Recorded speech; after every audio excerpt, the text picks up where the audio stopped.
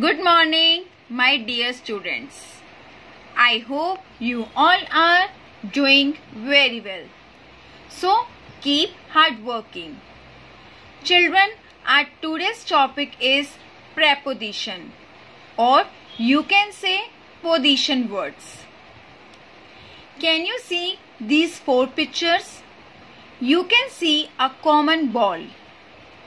The question is where is the ball? Okay children.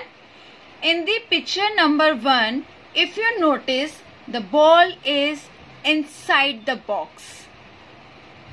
If you see picture number 2, the ball is on the table. The picture number 3, the ball is under the table.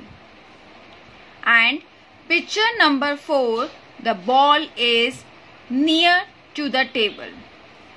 Children, how we are able to identify the position of the ball? Where is the ball? By seeing the position. Then we are able to identify the ball is inside a box, the ball is on the table, the ball is under the table and the ball is near to the table. These words in, on, under, near.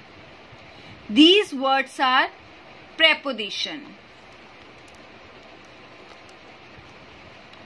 A preposition is a word that tells us where a person, a place, an animal or a thing is. As we saw the ball, it was lying inside the box, then on the table, then under the table, then near the table. Like this, we can see the position of particular thing or a person where it is. So, I will talk about in first. Can you see 3x children? Where are they lying? Yes, they are inside the nest. So, the eggs are in the nest. Now, in the next picture, can you see the apples? The apples are in the basket.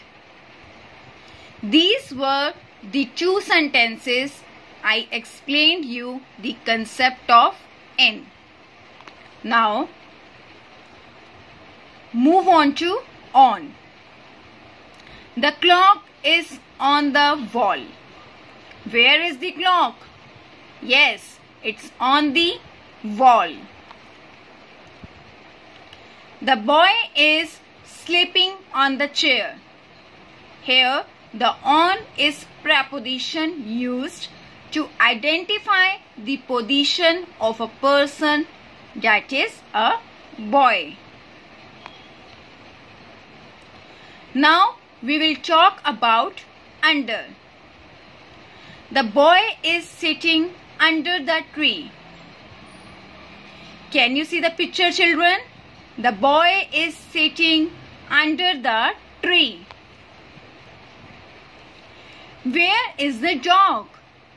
The dog is sleeping under the table.